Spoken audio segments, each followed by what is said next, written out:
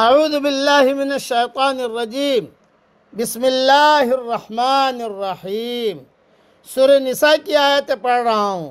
آیت نمبر ایک سو تیئیس سے لے کر آیت نمبر ایک سو چھبیس تک۔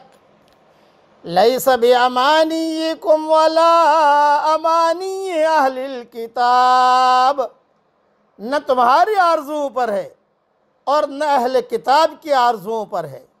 من یعمل سوءا یجز بہ جو کوئی بھی برا کرے گا، اس کا بدلہ پائے گا۔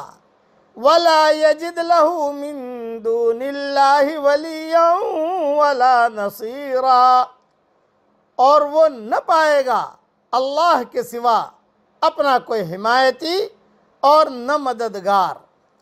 ومن يعمل من الصالحات من ذكر او انثى وهو مؤمن اور جو شخص کوئی نیک کام کرے گا خواہ وہ مرد ہو یا عورت، بشرطے کہ وہ مؤمن ہو، فَأُولَئِكَ يَدْخُلُونَ الْجَنَّةَ وَلَا يُظْلَمُونَ نَقِيرًا تو ایسے لوگ جنت میں داخل ہوں گے۔ اور ان پر ذرا بھی ظلم نہ ہوگا۔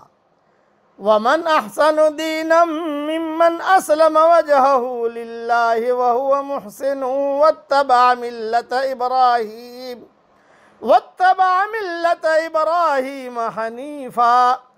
اور اس سے بہتر کس کا دین ہے؟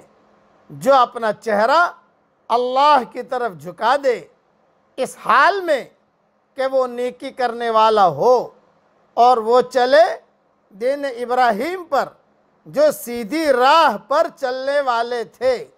وَاتَّخَذَ اللَّهُ إِبْرَاهِيمَ خَلِيلًا۔ اور اللہ نے ابراہیم کو اپنا دوست بنا لیا تھا۔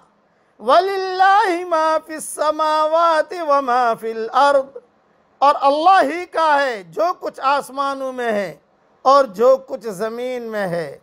وَكَانَ اللَّهُ بِكُلِّ شَيْءٍ مُحِيطًا۔ اور اللہ ہر چیز کا احاطہ کیے ہوئے ہے۔ اس کی مختصر تشریح اور بہت اہم تشریح ہے۔ دھیان سے سنیے۔ اہل کتاب اپنے متعلق بڑی خوش فہمیوں میں مبتلا تھے۔ یہاں اللہ تعالیٰ نے پھر ان کی خوش فہمیوں کا پردہ چاک کرتے ہوئے فرمایا کہ آخرت کی کامیابی محض امیدوں اور آرزاؤں اور آرزوں اسے نہیں ملے گی۔ اس کے لیے تو ایمان اور عمل صالح کی پونجی ضروری ہے۔ اگر اس کے برعکس نامہ اعمال میں برائیاں ہوں گی، تو اسے ہر صورت میں اس کی سزا بھگتنی ہوگی۔ وہاں کوئی ایسا دوست یا مددگار نہیں ہوگا جو برائی کی سزا سے بچا سکے۔ آیت میں اہل کتاب کے ساتھ اللہ تعالیٰ نے اہل ایمان کو بھی خطاب فرمایا ہے یعنی ہم لوگوں کو بھی خطاب فرمایا ہے تاکہ وہ بھی یہود اور نصارہ کی غلط فہمیوں، خوش فہمیوں اور عمل سے خالی آرزوں اور تمناؤں سے اپنا دامن بچا کر رکھیں۔ لیکن افسوس، مسلمان اس تنبیہ کے باوجود انہی خام خیالیوں میں مبتلا ہو گئے۔ جن میں سابقہ امتیں گرفتار ہوئیں اور آج بے عملی اور بد عملی مسلمان کا بھی شعار بنی ہوئی ہے اور اس کے باوجود امت مرحومہ کہلانے پر مصر ہے اللہ تعالی ہم سب کو صحیح سمجھ دے، صحیح سمجھ دے۔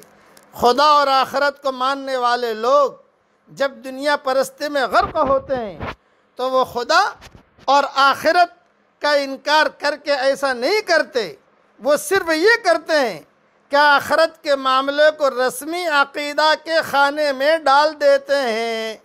یہ جملہ پھر سے پڑھ رہا ہوں۔ وہ صرف یہ کرتے ہیں کہ آخرت کے معاملے کو رسمی عقیدہ کے خانے میں ڈال دیتے ہیں اور عملاً اپنی تمام محنتیں اور سرگرمیاں دنیا کو حاصل کرنے میں لگا دیتے ہیں۔ آج کل زیادہ تر یہی ہو رہا ہے۔ دنیا کی عزت اور دنیا کے فائدے کو سمیٹنے کے معاملے میں وہ پوری طرح سنجیدہ ہوتے ہیں۔ ان کو پانے کے لیے، ان کے، ان کو پانے کے لیے ان کے نزدیک مکمل جد و جہد ضروری ہوتی ہے۔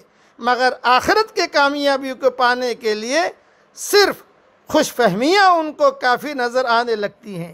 کسی بزرگ کی سفارش، کسی بڑے گروہ سے تعلق، کچھ پاک کلمات کا ورد، بس اس قسم کے سستے اعمال سے یہ امید قائم کر لی جاتی ہے کہ وہ آدمی کو جہنم کی بھڑکتی ہوئی آگ سے بچائیں گے اور اس کو جنت کے پر پر بہار باغوں میں داخل کریں گے۔ مگر اس قسم کی خوش خیالیاں خواہ ان کو کتنی خوبصورت الفاظ میں بیان کیا گیا ہو۔ وہ کسی کے کچھ کام آنے والے نہیں۔ اللہ کا نظام حد درجہ محکم نظام ہے۔ اس کے یہاں تمام فیصلے حقیقتوں کی بنیاد پر ہوتے ہیں۔ نہ کہ محض آرزوں کی بنیاد پر۔ اللہ کی عدالت میں ہر آدمی کا اپنا عمل دیکھا جائے گا۔ جیسا جس کا عمل ہوگا ٹھیک اسی کے مطابق فیصلہ ہوگا۔ اللہ کے قانون عدل کے سوا کچھ نہیں۔ دوسری چیز نہیں، جو اللہ کے یہاں فیصلہ کی بنیاد بننے والی ہو۔ اس لیے زیادہ خوش فہمیوں میں زندگی مت گزاریے، عمل کریے۔ اللہ ہم سب کو توفیق عطا فرمائے۔